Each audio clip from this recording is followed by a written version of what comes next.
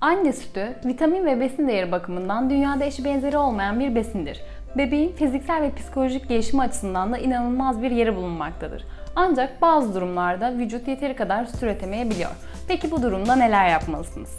Anne sütünü arttırmak için yapılması gerekenleri geçmeden önce anne sütünün neden kesildiğini incelemek daha doğru olacaktır. Öncelikle anne sütünün azalmasındaki en önemli faktörün stres olduğunu unutmamak gerekir. Depresyon hali ve üzüntü hormonal dengeyi bozarak anne sütünün kesilmesine neden olabilir. Bir diğer etken de doğum kontrol haplarıdır. Doğum kontrol hapları içindeki östrojen sayesinde anne sütünün azalmasına veya kesilmesine neden olabilir. Bu nedenle emzirme döneminde spiral veya prezervatif gibi alternatif doğum kontrol yöntemlerinden faydalanabilirsiniz. Bebeğinize az veya düzensiz emzirmenizde sütün kesilmesinde büyük rol oynuyor. Bununla birlikte kalsiyum eksikliği, meme iltihabı ve çeşitli hormonal bozukluklar da anne sütünün azalması veya kesilmesine neden olabiliyor.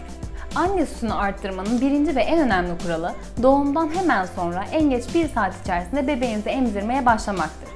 Bununla birlikte bebeğinizi sık sık emzirmek de vücutta daha fazla süte ihtiyaç olduğu algısını beyinde yaratarak vücudunuzun daha fazla süt üretmesine neden olur. Tüm bunlarla birlikte anne sütünün artmasında sizin sağlıklı beslenmeniz de çok önemli bir yere sahiptir. Emzirme sürecinde bol bol protein ağırlıklı beslenmeli, sık sık su tüketmelisiniz.